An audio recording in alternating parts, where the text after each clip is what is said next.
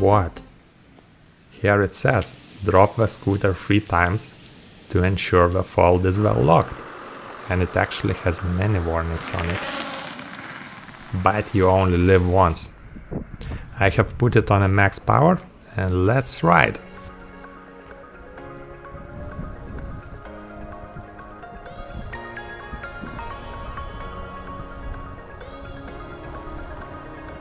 Wow, and it goes.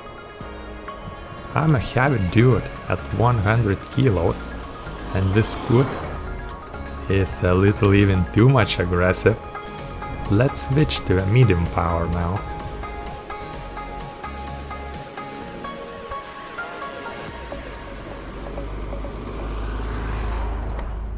This scooter definitely feels more powerful than the original Xiaomi I had before. And this is straight out of the box, I did not do any unlockings or anything. Medium power feels just about right for city cruising. The Scoot has some suspension. It won't be as comfortable as riding an electric bike, but let's just put it this way, it hurts my legs less than the original Xiaomi. And it feels pretty solid too, there is no play in the folding mechanism or the steering wheel.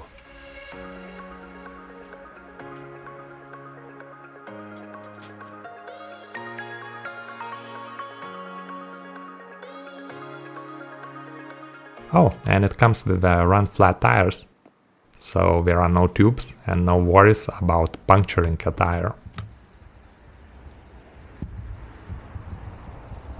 Which was a real pain on the Kugoo model I have tested last year. I got a flat actually riding uh, exactly same bicycle path here, so I did not even put a video review on that scooter from the last summer.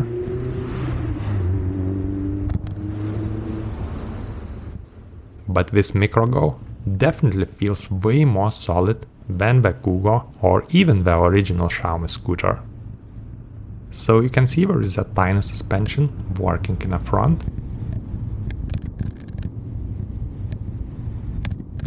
And what? I have been riding for about 20 minutes now and still my legs feel fine.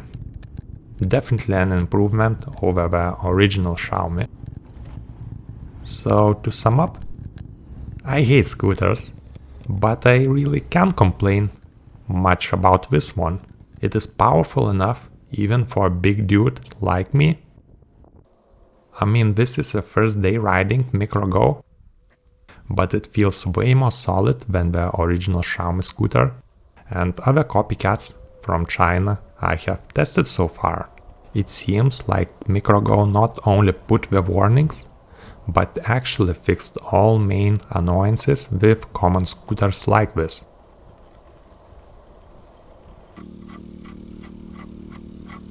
Whoops. So you can remove handles for easier transportation and storage. And I like how there is no play in the steering wheel. This is really well designed. As there is no play in a folding mechanism, again, just a good design. Punctureless tires too. I mean, a thumbs up for a MicroGo scooter. I can really recommend it and I hate scooters. I ride my Fiido e-bike daily. It is still way faster and more comfortable to ride.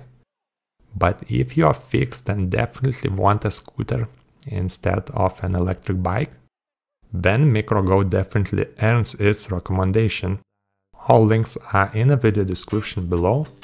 And thanks for watching, subscribe for more electric bike and scooter videos and I will see you next one.